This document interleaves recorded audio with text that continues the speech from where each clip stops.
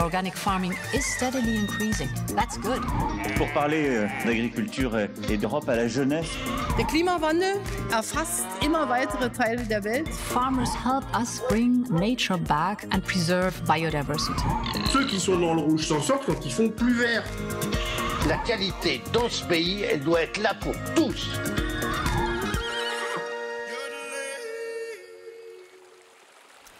Hola, mi nombre es Luis Campos. Yo soy. Hello, my name is Luis Campos. I am a coffee producer from Costa Rica. We're in the hills in the south of San Ramon, in a small village around which is the main coffee growing part of the region. My family and I have been producing coffee here for 35 years, together with my brother. For the past seven years, we've been fortunate to work with a partner. Eh, We process all our coffee, all of our partners' coffee, and the coffee of 250 producers from two regions of the country, San Ramon and Santos. Eh, We buy the fruit from them and carry out the entire processing process eh, classification, packaging, and export directly from our processing plant.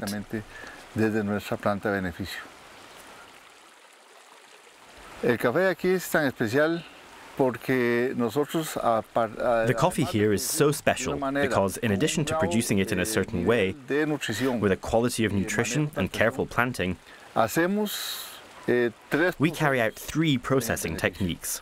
hacemos un, un proceso lavado There's the café lavado, which is a traditional process. We have an anaerobic fermentation process that I invented in 2006. Tres años inventaré, And three years ago, I invented a thermal fermentation process. eh, They are unique processes and highly sought after by coffee roasters throughout the world. tostadores de café especial en el mundo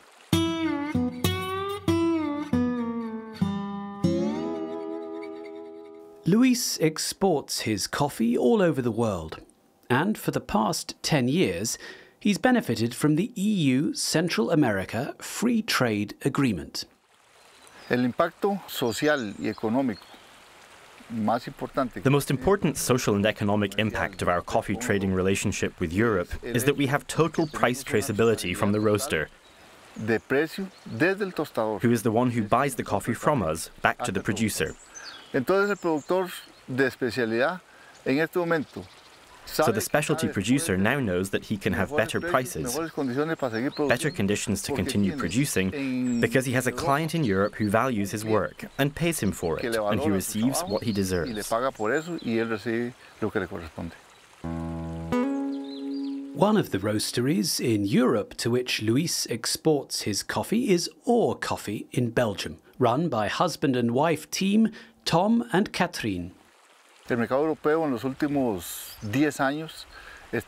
In the past 10 years, the European market has really opened to specialty coffees. ventana abierta, una puerta para poder acceder. We have an open window, a door through which we can access this market, thanks to Tom and Catherine, Catherine, que fueron los que nos abrieron la primera puerta. who were among the first to present this opportunity in the European market to our company.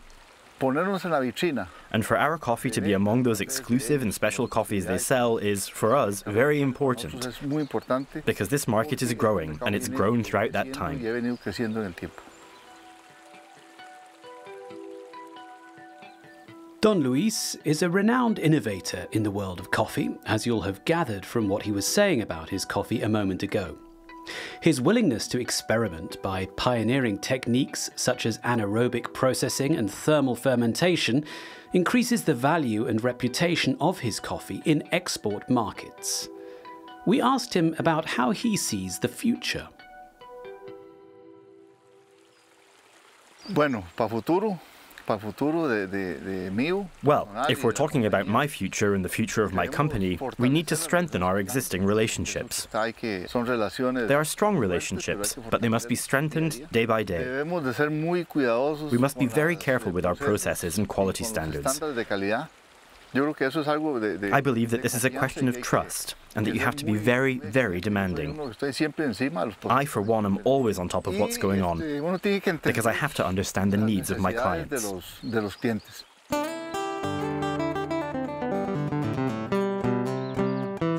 From the mountains of Costa Rica to a cafe in the shadow of the European Commission's headquarters in Brussels. Luis's coffee has travelled 9,000 kilometres. Je vais prendre un cappuccino single shot avec. Euh, vous avez quoi comme euh, sirop euh, Caramel, noisette, euh, spéculoos, vanille, vanille oui. Ouais, vanille. Emporté sur place euh, Emporté. Emporté. And does it travel well? Yes, uh, because what is particular about this coffee, it's, it's a very specific process invented by Luis Campos, anaerobic process. Due to the process, it develops natural cinnamon-ish flavors and apple flavors. So if you uh, will taste the coffee, it's like a apple pie that you're drinking. That's Katrien Pauwels from OR Coffee, whom Luis mentioned earlier. Costa Rica is one of three Central American countries where OR Coffee buys directly from growers. With OR, um, we decided to start to buy direct. And in 2015, we traveled to Costa Rica. You go there, you visit five, six, seven, eight producers or cooperatives. And by accident, Luis was one of those that we visited. And there is a lot of objective criteria that you have to check on, like how do they work, what quality do they have. But then in coffee, and I know it's very different from other business, there is a lot of relationship based things to consider as well and trust, confidence. The beans that end up one day here in Antwerp in the harbor, they don't have a stamp. I mean, so you need to be sure that the quality you agree on, that that will be the quality that arrives here a few months later. So for us, we will never ever start working with someone, even though the coffee is delicious when you're there. But if the gut feeling is telling us to go for it. And so that was the case with Luis. Of course, Catherine wants to provide her customers with the best coffee. But she also feels a commitment to her growers and a belief that direct trade doesn't mean so much without an appreciation of the human factor behind it. We also buy directly in Honduras. Um, and we have started there with a cooperative, a very young cooperative. So there is still a lot of knowledge that should be gained in that young uh, group of people. Uh, we bought from them the first time 2019, just before COVID, and uh, everything went well. And the year after, it was a quality issue. Now, in most of the cases, when there is a quality issue, you might say, okay, buy, sorry, we will buy from someone else. Uh, but here, that's a young guy, and we know that there is a lot of potential. I knew someone who is um, working coffee in Colombia, and she specialized in everything that is processing coffee. So uh, this year in February, I uh, took her to Honduras and we did actually one week uh, intense workshop with them to go into the process from A to Z. Okay, it's an investment, but for us it's important because we can achieve better quality, but also for them because they can better the quality, and so it's not only that it's serving us, but the whole community.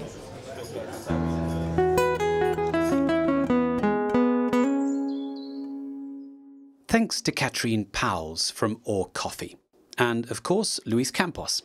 Now, the journey we portrayed there from bean to barista takes place, as I mentioned a little earlier, in the framework of the EU Central America Free Trade Agreement.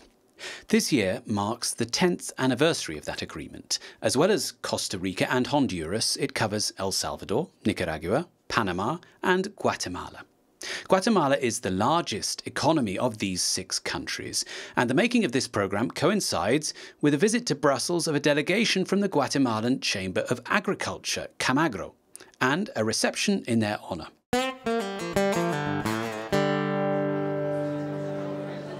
I'm joined now by Camagro's Executive Director, Carla Caballeros, and Luis Carazo Jimenez, who heads the unit for the Americas in the European Commission's DG Agri. Luis, first to you. How would you characterize these 10 years since the agreement came into being?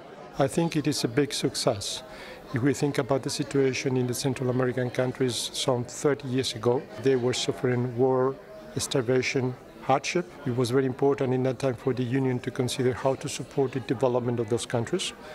And when we look back at the accomplishments of these 10 years, we can note, for instance, that the trade has doubled and that we are getting closer to our friends and colleagues in Central America. So I think it's a big result. Carla, what has the FTA meant for producers in Central America? Well, the agreement it's been very um, successful. It has expanded opportunities for not only for exporters but also for a lot of SMEs, companies that are uh, being integrated into export supply chains. Companies have taken advantage of getting their products into the EU market, but also that we do have more availability as consumers of products from both sides. Luis, there's a broader political objective of the FTA for the European Union, isn't there? Absolutely. I think there are two main elements that we can highlight here. On the one hand, there is a push towards further regional integration. The European Union is an excellent example of regional integration, and by having an agreement with Central America, we are fostering this. Second element is the idea of fostering the dialogue and the exchanges. We have uh, annual meetings with our partners in Central America, and this is paving the way for uh, improving our mutual understanding and getting closer in our rules and our standards. In your view, Carla, how successful has the FTA been in promoting regional integration in Central America? We're working on that. And Central America is a world-class exporter and is among the first five suppliers in the world in some products such as coffee, cardamom, cane sugar, bananas, pineapples. We have success stories to tell like uh, in terms of uh, sustainable agricultural practices that we were already uh, implementing before, even before the agreement, because we have producers, our products are competing in the world markets. Luis, how important to the EU are higher social and environmental standards in agricultural production in the region? We are not intending to impose our standards because uh, here we're talking about a region in the world that is sovereign, but we are intending to serve like a benchmark or a reference showing why we in the European Union have come to the conclusion that certain rules or the standards are the best to be put in place, and we are making the effort to explain our colleagues in Central America about the benefits of our own standards.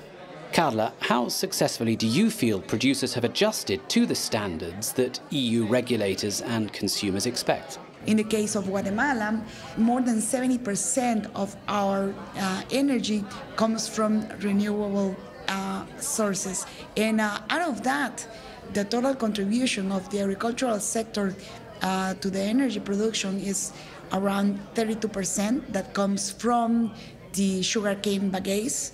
Uh, and, and, that's that's a strategy, that's a business model that the Sugarcane Producers Association has been promoting. The ASAZGUA has been very successful, not only to um, contribute to the sustainable goals of the country, but also to contribute to the uh, objectives of the agreement as well. What's your hope for this agreement for the next 10 years, Luis? I hope that if the last 10 years have been a big success, uh, I think that we can be confident that this success will be pursued and increase over time because uh, all the elements are there. Uh, the good results that we have achieved in the last 10 years is the best argument for both parties to keep working together for the future for the sake of the populations in Central America and in the European Union. Carla, what more are you looking for from the Commission as we move forward? Well, we're hoping for uh, the Commission to recognize that we should be in the middle of all, all of the discussions regarding the um, Green Deal.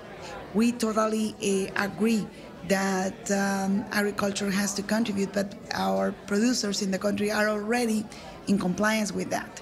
Either they are um, environmental policies, either they are um, labor compliance policies, or child prevention policies, or human rights uh, respect policies. Well, thank you both very much for your insight and congratulations on the first decade of this landmark accord. That brings us to the end of this edition of Food for Europe. Thanks to all our guests for a fascinating view of trade between the EU and Central America. and all the opportunities it can bring to economies, societies, and people. Time now for a coffee. So, until next time, bon appetit. Organic farming is steadily increasing. That's good. Pour parler euh, d'agriculture et d'Europe à la jeunesse. Der Klimawandel erfasst immer weitere Teile der Welt. Farmers help us bring nature back and preserve biodiversity. Ceux qui sont dans le rouge s'en sortent quand ils font plus vert. La qualité dans ce pays, elle doit être là pour tous.